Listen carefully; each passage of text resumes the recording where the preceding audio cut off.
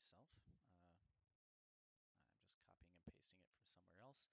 Um, so with that, I get all of this, um, which looks a little bit gnarly. Uh, so what I'm going to do is I'm going to put some styles in here for when I just want to have prose. Um, when I say prose, I just mean like just normal text, the way you would read it in a book.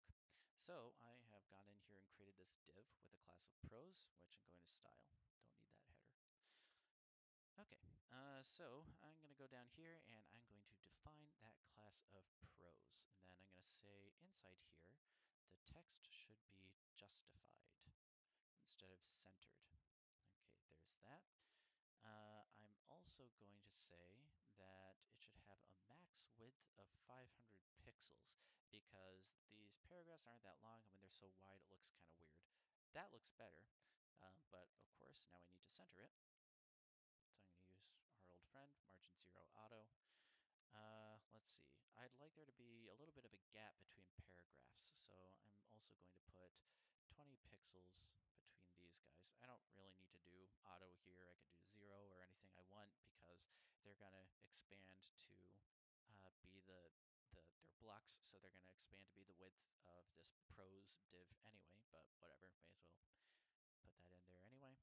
Um, and then the last thing I'm going to do is I'm going to change how all these bullet points look. Uh, so I'm going to change the position of those bullet points. Still want to have bullet points, but I'm going to change their position. So they are inside. Notice what that does. Before they were sort of outside that block, but now they're inside the block. There are actually several other things you can do with list styles. You can uh, change what the um, what kind of symbol it uses. So right now, I think it's bullet or dot or something. You can do disc. Oh, actually, that's disc. There we go. Uh, I think square is one. Uh, there's also Roman, I believe, maybe. No, that's not it. Uh, well, oh, decimal. That's what it is. Decimal. There we go. And that does one, two, three, four.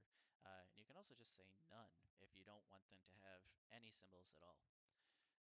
So a couple other things you can do with that uh, there we go. That's that commit.